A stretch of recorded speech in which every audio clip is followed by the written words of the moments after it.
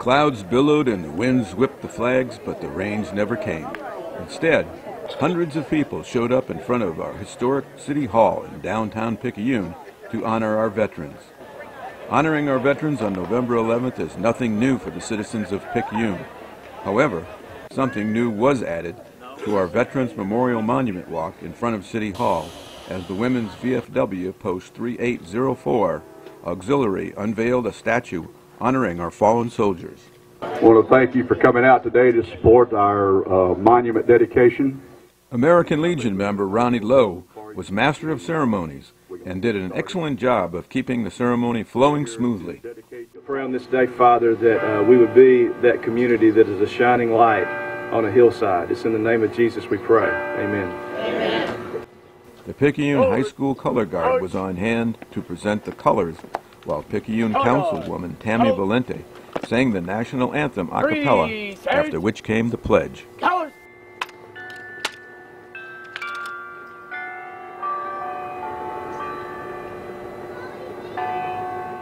Oh, say does that star-spangled banner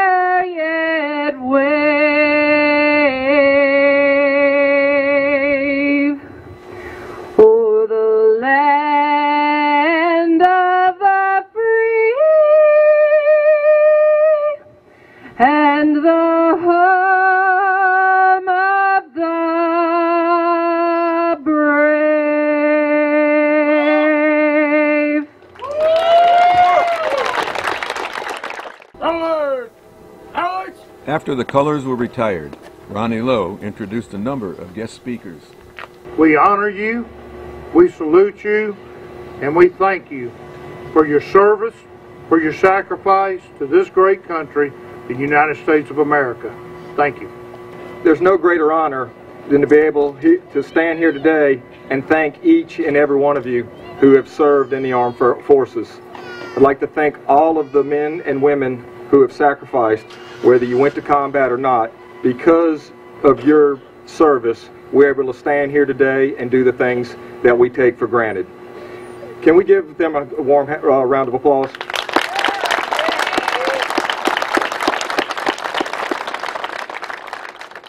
It's truly an honor and a privilege to be here today, to be in Picayune celebrating Veterans Day. It's also an honor to be here as a fellow veteran with God Almighty. Bless our veterans, bless our men and women in uniform, bless our great state and the most exceptional nation on the face of the earth. Thank you all for having me here today. I appreciate it. Of course, the highlight of the ceremony was the unveiling of the fallen soldier statue by the Women's Auxiliary of Post 3804. The history of the battle cross is a symbolic replacement of a cross on the battlefield or at the base camp for a soldier who has been killed.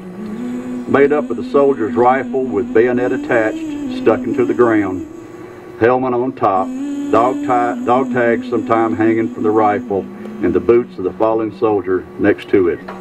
Its purpose is to show honor and respect for the falling at the battle site. The practice started during the American Civil War as a means of identifying the bodies on the battleground before they were removed. There has been 1,343,812 KIAs since the American Revolution to the Afghanistan War. We honor those dead with the memorial we dedicate today. At this time, I'd like to have the Ladies Auxiliary come up and unveil our monument.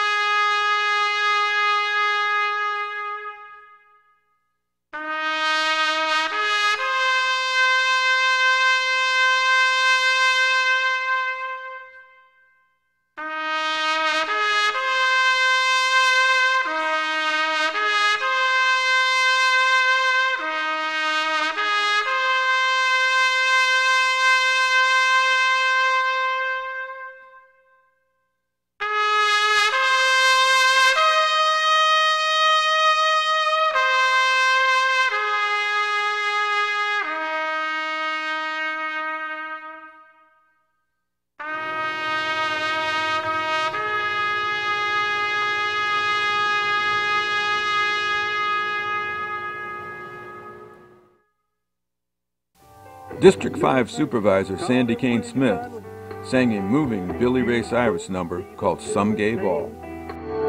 All gave some, and some gave all. Some stood true for the red, white, and blue, and some had to fall. And if you ever think of me, think of and recall.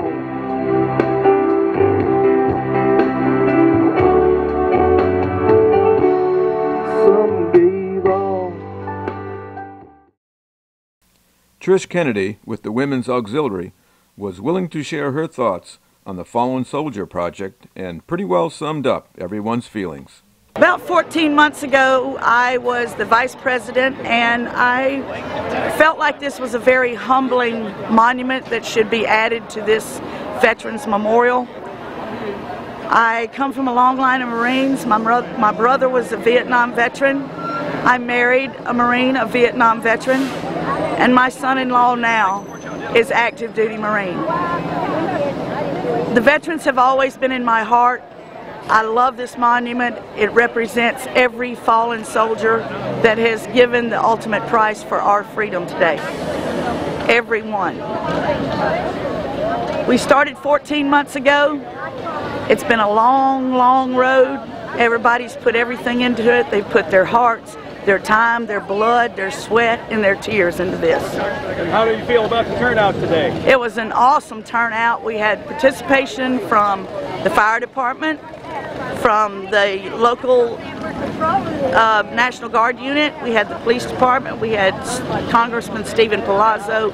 We had a wonderful turnout. I am so proud that, that this day has turned out this way. All right, thank you so much. Thank you so much. Thank you. Veterans Day just wouldn't be Veterans Day without a good parade. Local high schools, police and fire departments, veterans associations, and the local National Guard Armory all joined together at 6 p.m. and rolled down Goodyear Boulevard to the delight of an appreciative crowd. Left, right, right, right, left. Left,